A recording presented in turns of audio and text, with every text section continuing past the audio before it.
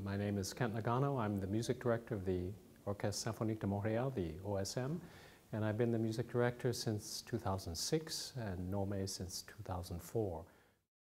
The opening of the B minor Mass is particularly powerful because um, it gives, as you mentioned, um, uh, such an opening of the acoustic space that you don't feel uh, the walls of the concert hall anymore or the walls of the church. It doesn't matter where you're performing.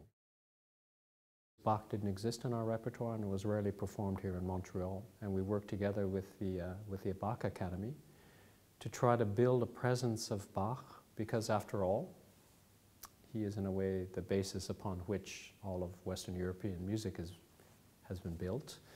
And it's important that he be played, and it's important that we, as musicians, we as music lovers, have a regular confrontation with this music.